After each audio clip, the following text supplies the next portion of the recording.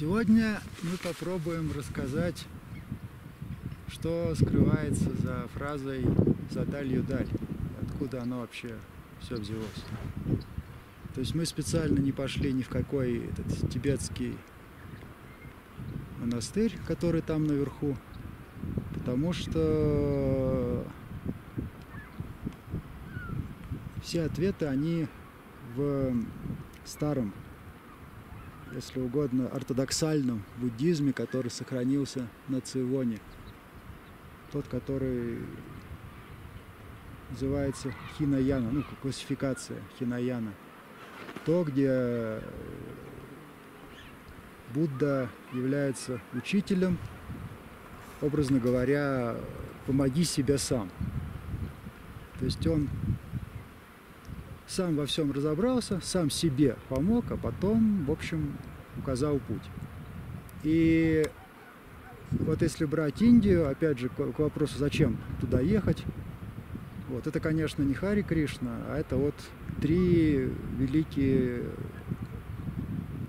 как сказать, не книги, а сборники текстов.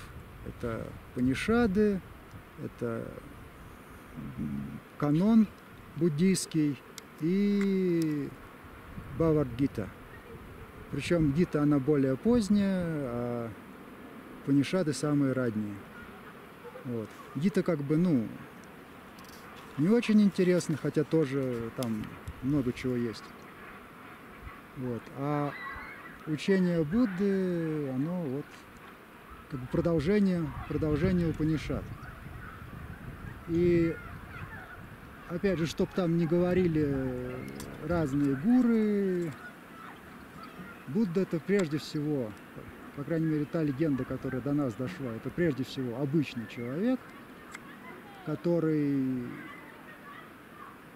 совершил, как сказать, ну, наверное, лучше, лучшее из возможного, из всего вообще, что можно в жизни достичь. То есть он оставил то, что у него было, и пошел искать,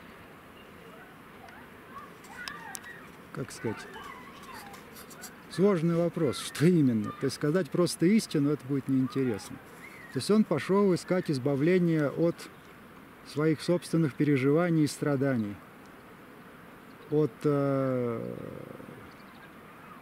от непонимания, от постоянных каких-то сомнений, страхов, там, не знаю, галлюцинаций, бог знает чего. И путь его, опять же, ну, если мы берем легенду, этот путь, он классический. То есть он испробовал все, что было предложено на, на, на те времена его культурой, обошел, опять же, по легенде, всех основных учителей и научившись у них, понял, что не, не то. То есть в каком-то одном случае это, как сказать, тупая вера, то есть э, ритуалы без вмешательства понимания. В другом случае это, допустим, какое-то само, самоистязание в надежде, что это даст какие-то сверхъестественные возможности. В третьем случае это просто э, от себя тяна.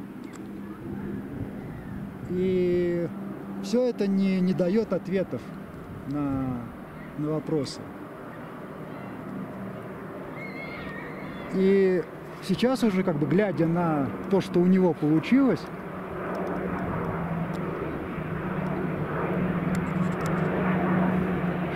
что именно Будда нашел.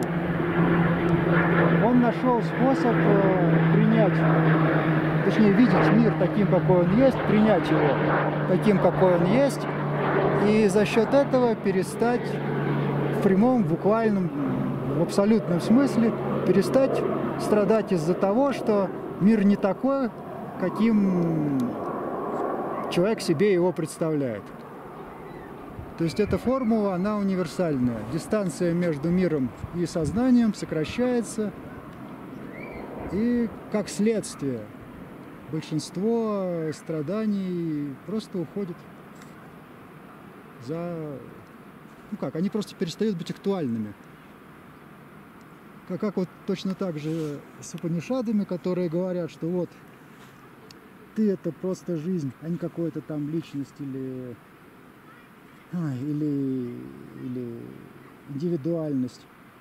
А Будда говорит, что вот прими мир таким, какой он есть, научись видеть мир таким, какой он есть, и выкини из головы весь швак, который накопился от культуры, от воспитания, от восприятия, тем самым сохранив, сократив дистанцию между реальностью твоей картой в твоей голове, то есть фактически вернувшись обратно, опять же, в животное состояние. Только не то животное, где жрем и спим, а в животное, которое живет в, том, в той среде, которая, которая его породила и живет ну, почти оптимально. То есть адаптируясь постоянно к изменениям в среде, животные живут почти оптимально. У них нет в голове всякой херни, которая мешает им жить. Как, как пел один товарищ, э, мои мысли как гангрена нам мешают вечно жить. Вот сам того не живая, он все и сформулировал. Убираешь мысли и живешь вечно. Пять минут.